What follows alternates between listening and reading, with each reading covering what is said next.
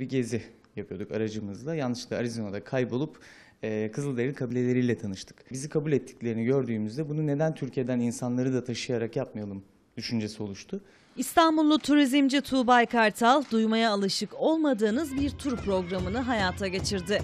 Türkleri Amerika'da yaşayan Kızılderililerle buluşturmaya karar verdi. Fikrini uygulamaya geçirince de Apache turizmi resmen başlamış oldu. 2009 yılından beri yaklaşık 4 yıldır her yıl e, Ohio ve Arizona eyaletlerinde Kızılderili kabilelerine giderek e, bildiğiniz kabileyle birlikte e, bir yaşam alanı oluşturuyoruz. Yaklaşık 5 gün kadar onlarla birlikte yaşıyoruz. Her şeylerini öf, adet, gelenek, yemek yapmalarından çadır kurmaya kadar her şeylerini öğreniyoruz.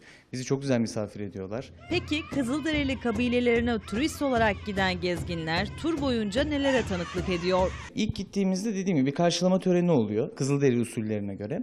Ee, kabileyle tanışma ve bizden gelen misafirlerimizle kabilenin tanışmasıyla başlıyor. Genelde e, bir tercümanlık hizmeti vermiş oluyoruz tabii burada. Çünkü herkesin yabancı olmuyor. Ee, sonrasında ilk iş tabii çadırlarımızın Kızılderili çadır tipi dediğimiz e, Kızılderili çadırlarının kurulmasıyla başlıyor. Akşam ilk iş e, yemek servisini öğreniyoruz. Yemek kültürlerini öğreniyoruz. Sonrasında ateş yakılıyor ve e, akşam dualar doğaya e, ithaf edilen e, dualar okunuyor. İkinci günden itibaren günlük hayat ve çevre gezileri yapılıyor.